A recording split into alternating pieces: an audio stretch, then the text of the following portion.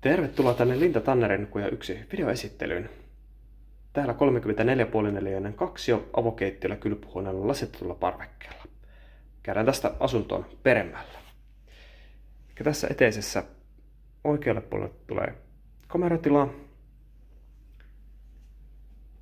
Ja vasemmalle puolelle tulee sitten kylpyhuone. Rakennus on tosiaan valmistunut viime vuoden joulukuussa.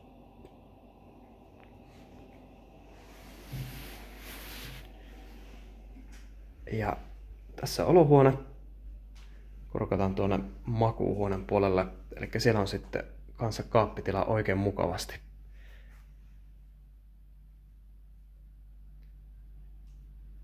Ja olohuone.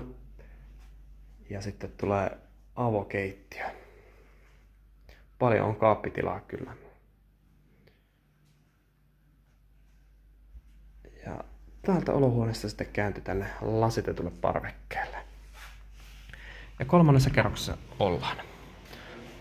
Ja lasitettu parveke on kyllä myös erittäin suuri.